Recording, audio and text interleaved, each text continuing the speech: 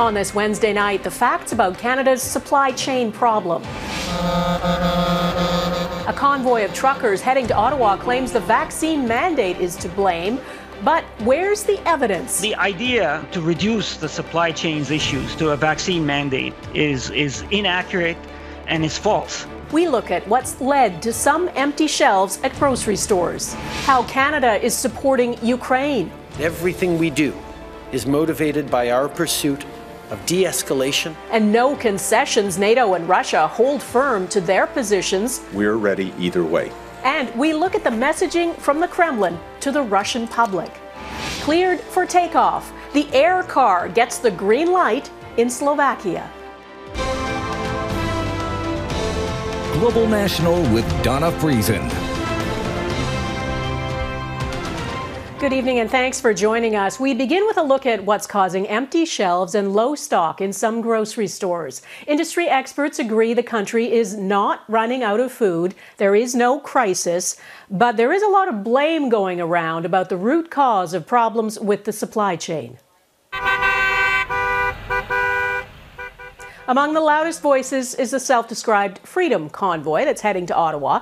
Its supporters blame the government, call public health restrictions unlawful, and claim the vaccine mandate for cross border truckers has reduced the supply of goods.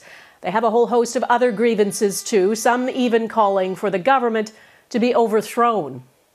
Well, a couple of important points. The majority of Canadian truckers are vaccinated, and the U.S. has the same vaccine mandate for cross border truckers. It's not just Canada.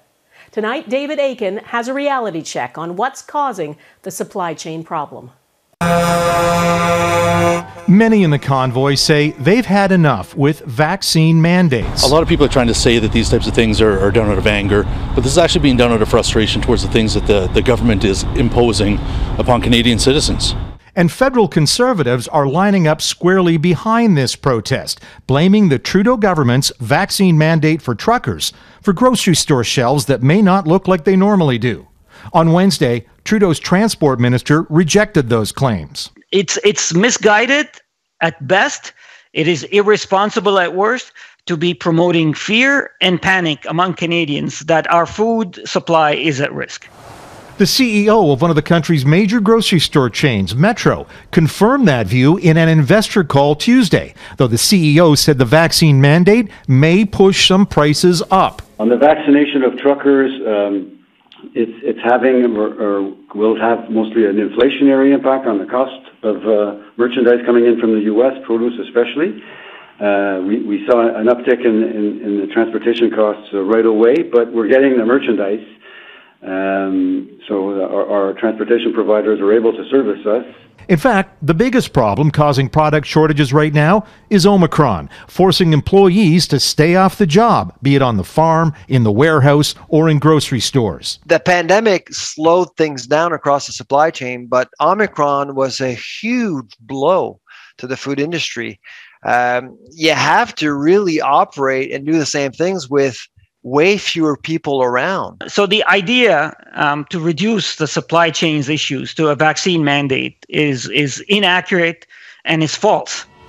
And then there's the problems the convoy itself may cause disrupting national highways. Canadians support truckers, but I, I don't I don't believe they, they, they support the convoy because the convoy is creating some disruptions. And, and that's the last thing we need right now. Meanwhile, police responsible for Parliament Hill are preparing for the arrival this weekend of possibly hundreds of big rigs. Many they expect will be filled with angry truckers. David Akin, Global News, Ottawa. Now to the tension over Ukraine. Prime Minister Justin Trudeau has authorized the deployment of more Canadian troops to Ukraine as it resists what he calls unwarranted Russian aggression. 60 more troops will be sent now to join 200 already on Operation Unifier in Ukraine. The number could increase to 400 in the months ahead. And unlike some of our allies, Canada will be sending non lethal equipment only. Today, I've authorized the extension of Operation Unifier for three more years and the expansion of this training mission as well as immediate support. This also includes a provision of non lethal equipment, intelligence sharing, and support to combat cyber attacks. The Prime Minister says Canada is supplying non lethal equipment only because the solution to the standoff is diplomatic. The Ukrainian government, though, has asked for weapons. In an exclusive interview, the Secretary of Ukraine's National Security and Defense Council told Global News the threat from Russia's president is worldwide. He points to the poisoning of enemies of Vladimir Putin and cyber attacks on sovereign nations. Our Europe Bureau Chief Crystal Goomansingh spoke with him. Crystal. Ukraine is expressing its gratitude to Canada for its economic and ongoing military training support. But the country's national security chief also says right now his country's needs are clear. Зброя для захисту. It's uh, defense uh, weapons. Зброя для захисту. Defense weapons. І ще раз зброя для захисту. And once more, uh, defense weapons. The United States and the UK have sent military supplies, including weapons, to Ukraine. As anxieties remain over whether the nation of 44 million will be plunged into another war with Russia, Oleksiy Danilov says only the Kremlin knows for sure.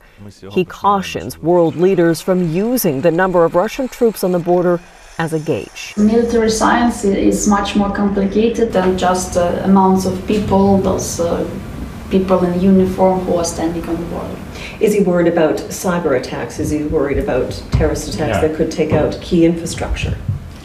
Це і сайбер, це і енергетика, це і інформаційні війни. Кількість війн, які на сьогоднішній день є, вони на с- е, нараховують велику кількість.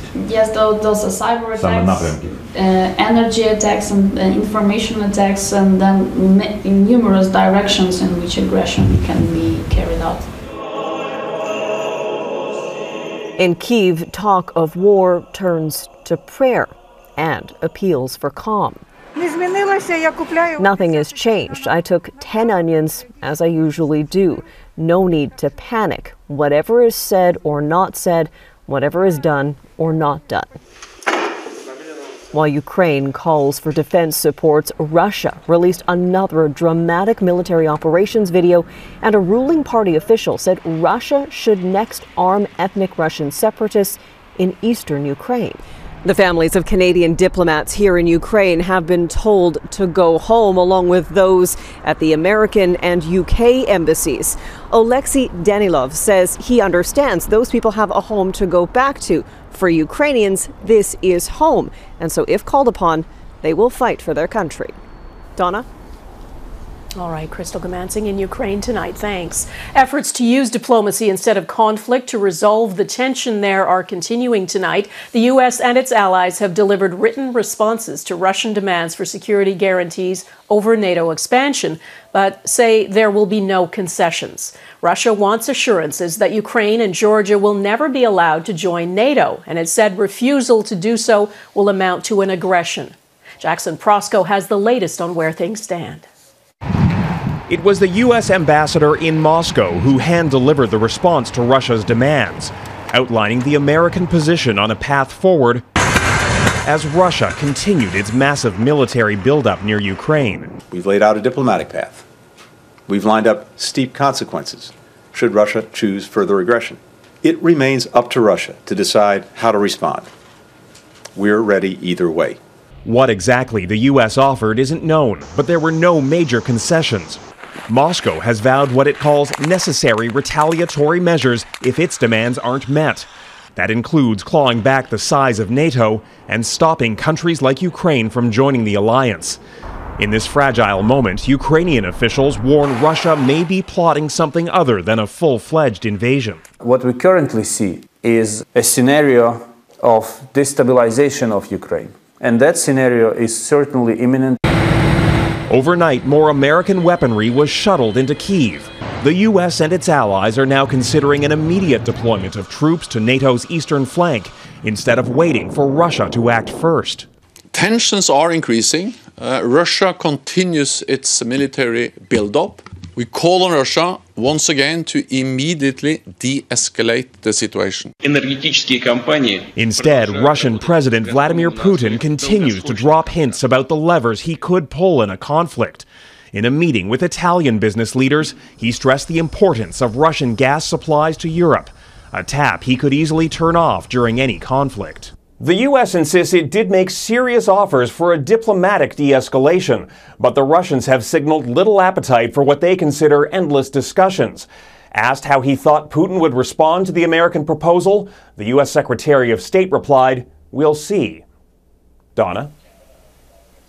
Jackson in Washington, thanks. The view from inside Russia is much different than in the West. Russia's highly developed propaganda machine is working overtime, and Russian state TV and social media are presenting a different picture to the Russian people. As Jeff Semple explains, the narrative may reveal clues about Moscow's broader strategy. Russian state TV can provide a window into the Kremlin. The networks are tasked with telling Vladimir Putin's preferred version of events. But what's perhaps most remarkable about their coverage these days is what they're not talking about. I don't perceive a lot of uh, war preparations, not in the rhetoric on state TV. This Canadian Ukrainian journalist has lived in Russia for 35 years. He remembers the warmongering prior to Russia's invasion of Georgia in 2008 and annexation of Crimea in 2014. Back then, Russian TV screens were dominated by images of violent Ukrainians overthrowing their pro Russian government. But Fred Weir says this time is different. The tone in state TV is the hope for peace. I, I just don't see the the warmongering that is imputed to, to Russia. There's virtually nothing about uh, the military maneuvers and buildups.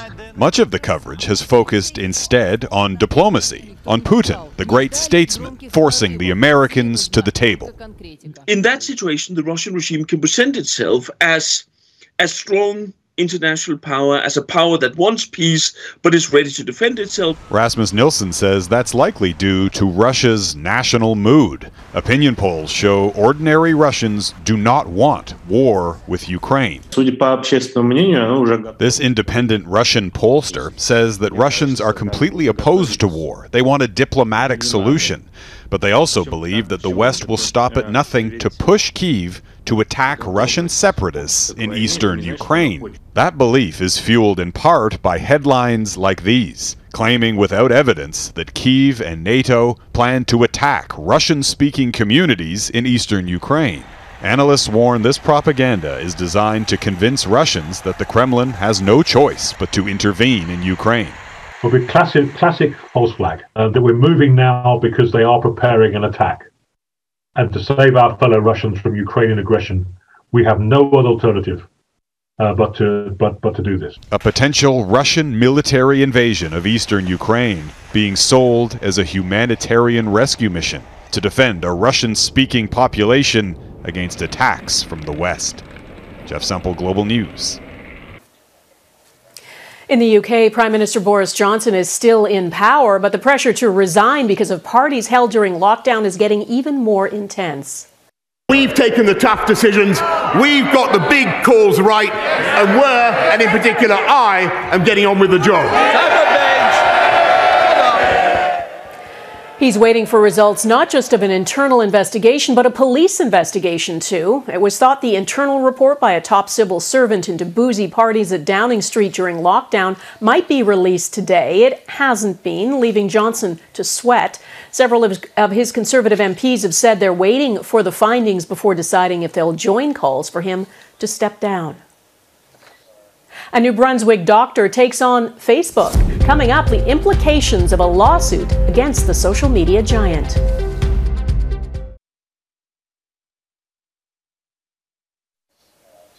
Tonight, we're taking a closer look at a lawsuit that could have implications for social media platforms. It centers on a New Brunswick doctor who says he was wrongly accused of causing a COVID 19 outbreak that resulted in the death of two people. He's suing the New Brunswick government, the RCMP, and Facebook for allegedly allowing hateful messages to circulate. Ross Lord reports on the implications of that lawsuit. Dr. Jean Robert Ngola says he feels betrayed, not only by New Brunswickers who blamed him for violating COVID 19 rules and spreading the virus, but also by Facebook for allowing racist, threatening messages to circulate online. Facebook must block that. That samples. Facebook must, must block that. Ngola alleges the hateful messages were shared thousands of times around the world, causing him to fear for his life. His lawsuit pursues punitive damages of 3% of Facebook Meta net profits. With the company's net annual income estimated at more than $86 billion, the claim could be worth a fortune. His lawyers say it's time for the company to recognize the destruction and devastation that their actions caused. Going after Facebook in court is a recent development. The tendency of people to see them now as a viable defendant is new. This constitutional law specialist says it's partly because of whistleblower Frances Haugen, who suggested Facebook Meta is fixated on profit at the expense of safety. American based court challenges have been thwarted by free speech protections, but in Canada, there are stronger limits on things like the racist attacks and alleged threats hurled at Ngola. That's the very first section of our Constitution that all the rights in the Charter are subject to reasonable limits, including the free speech rights, which almost certainly will be a key defense that Facebook will put forward in this case. Others say Ngola's case could establish how much responsibility social media platforms should take in helping protect and not damage people's well being. I do think we need more regulation for social media companies. They hold extraordinary uh, power in our communities. They're the main way that we engage in uh, public dialogue. In a statement, Facebook Meta says it doesn't comment on pending litigation. Ross Lord, Global News. The Bank of Canada is holding its benchmark interest rate steady, but warns it will rise. Despite surging inflation, the central bank is keeping its key lending rate at 0.25%. That's the same level it's been since the onset of the pandemic. The bank's governor says uncertainty about Omicron is one of the key reasons to hold it steady, but don't expect that to last. As the pandemic fades, conditions will normalize and inflation will come down. However, with Canadian labour markets tightening and evidence of capacity pressures increasing, Governing Council expects higher interest rates will be needed to bring inflation back to the 2% target. The U.S. Federal Reserve also held its key interest rate steady today and signaled a hike could come as early as March. Ahead, a major rescue off Spain's Canary Islands saves hundreds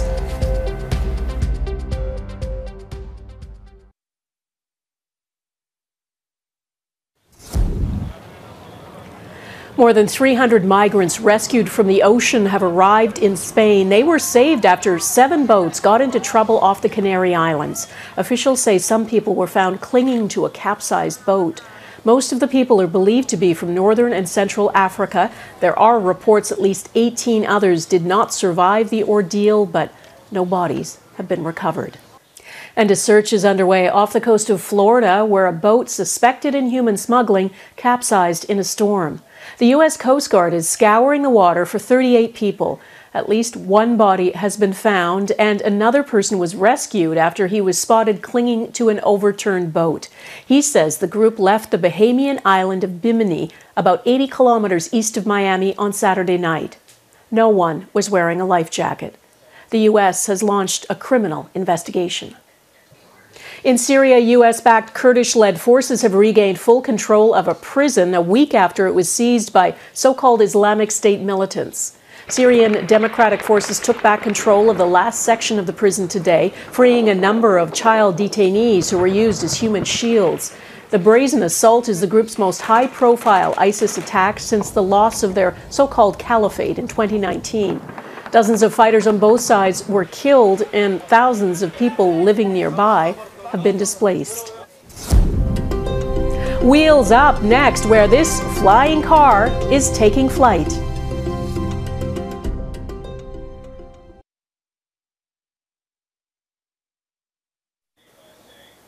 It's been a science fiction staple for decades, a vehicle that can seamlessly take you from the road to the sky.